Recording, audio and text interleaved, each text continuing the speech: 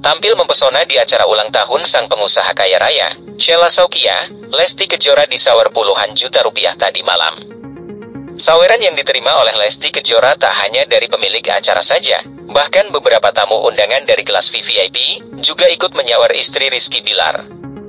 Saat tampil di acara super mewah tersebut, Menariknya lagi, Ahmad Fitra Budiman suami Sheila Saukia sendiri, tanpa ragu mengguyur Lesti Kejora pakai uang dolar, dengan jumlah yang terbilang cukup fantastis. Tentu saja, momen tersebut seketika langsung menjadi pusat perhatian para penonton dan tamu undangan yang hadir dalam acara itu. Bahkan beberapa dari tamu undangan, sampai terkejut hingga geleng-geleng kepala kala melihat Lesti Kejora dihujani dengan uang sebanyak itu. Tak hanya sang suami, Sheila Sokia juga tak ketinggalan untuk menyawar Lesti Kejora di acara ulang tahunnya tersebut. Terlihat, pengusaha asal Aceh itu sempat memegang segepok uang berwarna merah saat tengah bernyanyi bersama dengan Lesti di atas panggung yang telah disediakan itu. Kehadiran Lesti Kejora di acara ulang tahun Sheila Saukia tadi malam menjadi pusat perhatian utama oleh banyak tamu undangan.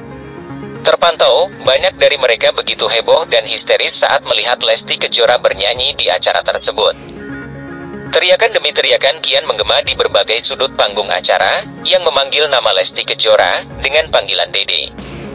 Tak hanya Lesti, putra semata wayangnya, Muhammad Leslar Al-Fatih Bilar, juga menjadi rebutan tamu undangan saat hadir di acara super megah tersebut.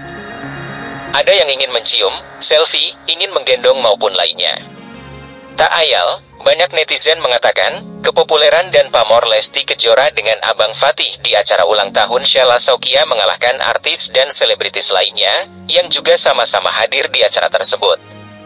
Tentu saja, hal ini menjadi salah satu bukti nyata, bahwa keluarga kecil Leslar, tak hanya dicintai dan sayangi oleh penggemarnya saja, melainkan mereka juga disenangi oleh kalangan masyarakat kelas atas, seperti artis dan penyanyi lainnya. Diketahui, dalam acara ulang tahun Sheila Saukia, Lesti Kejora sempat menyumbangkan beberapa single hitsnya saat tampil di acara tersebut.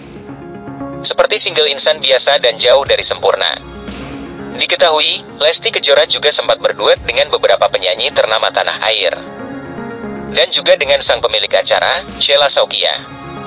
Acara yang diselenggarakan dengan megah dan meriah itu, juga turut dihadiri oleh banyak tamu undangan lainnya seperti Iis Dahlia, Soimah Pancawati, Ali Syakib, Marin, Shiren Sungkar, Zaskia Sungkar, Aurel Hermansyah, Atta Halilintar. Ria Ricis dan Tekurian, Karen Delano, Ivan Gunawan dan masih banyak lagi. Namun, yang sangat menarik perhatian para netizen adalah, dari sekian artis dan penyanyi yang hadir dalam acara ulang tahun tersebut, hanya Lesti Kejora sendiri, yang diantarin secara langsung oleh Sheila Saukia. Saat Lesti hendak pulang ke rumahnya, setelah acara tersebut selesai digelar.